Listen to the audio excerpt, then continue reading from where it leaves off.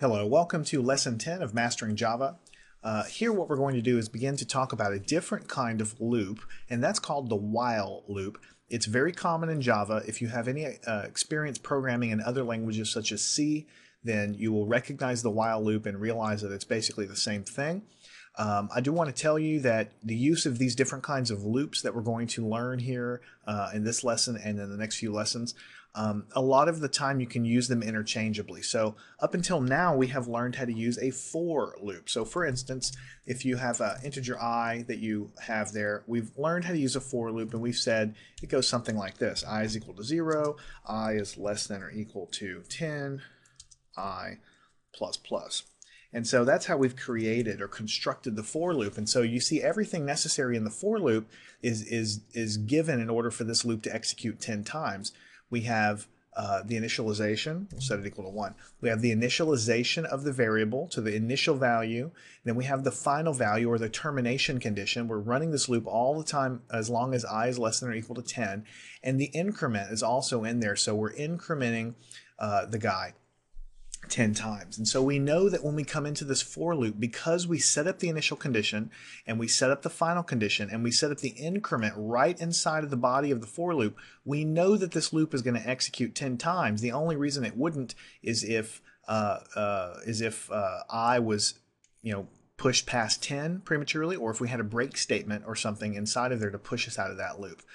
Now let me uh, leave this up here and I will contrast that with what we call a while loop. Actually what I'll do is I'll comment this out and I'll just push it down and just leave it at the bottom of the screen just to remind you because you have a good amount of experience with the for loop. So we'll leave it there so you can look at it. Now we're going to talk about what happens in a while loop. So in a while loop, it goes like this. You say uh, i is equal to 1. You have to set that initial condition outside of the loop. All right. And then you say while, let me go ahead and pull this up a little higher so you can see. The keyword is while, open a parentheses, and you say while i is less than or equal to 10. Then you drop down here, open a curly, and push that down and get a closing curly brace. What's going on here is the initial condition is set outside of the while loop. The termination condition is right here inside the parentheses, and this loop will continue as long as i is less than or equal to 10. Another way to say that is this loop will continue while i is less than or equal to 10. So typically what you would have is system dot out dot print ln um, this, let's do it like this in, in quotations, this is loop number, and then we'll just put our variable here just so we can say loop number one, loop number two, or whatever. And so we'll put a semicolon, and then underneath that, the other thing you need to add for a while loop is you need to increment or uh, or, or change the value of your variable. This is a functional while loop. It accomplishes essentially the same thing that we were trying to do down here with our uh, little example for a for loop. Notice how they're similar. We uh, In the for loop, you define the initial condition of the variable inside the loop or in the initialization of the loop. For a while loop, you need to set the initial state of the variable outside the loop. The increment here for the for loop is happening right as we define the loop, so we know as we go through it's incrementing plus one each time. For the while loop, you need to do that yourself in the body of the loop, or else nothing's going to happen. Nothing will increment, and the loop will never stop, right? And then the termination condition, i less than or equal to 10, which is here in the middle of the for loop, that's actually what's up here, uh, the only thing up there for the while loop. So let's go ahead and uh, hit save and let's run this. And you can see this is loop number 1, 2, 3, 4, 5, 6, 7, 8, 9, 10. All right. Um, so that's kind of the point of the while loop. It's something, it's a different way to accomplish a similar task. Uh, and so you can accomplish almost all the time when you're trying to use a while loop for something, you could have used a for loop. Conversely, many times you're using a for loop. If you wanted to, you could use a while loop. They're just two different tools. Sometimes it makes a little more sense to use a while loop. Sometimes it makes a little more sense to use a for loop. And so those are just going to be things that you experience as you go through uh, your programming here. So the thing you need to make sure to understand is you define your variable outside the loop, you increment the variable inside the loop. Your condition is going to continue to loop this guy while i is less than or equal to 10. It's only going to happen while that happens. Now, one thing I want to point out uh, to you that you may not realize uh, right off the bat um, because I'm going to compare it to the do while loop, which we're going to cover in, in the next uh, couple lessons here. Uh, I want to point something out to you here. When we come through here, we set i is equal to 1, and we set this loop to occur while i is less than or equal to 10, right?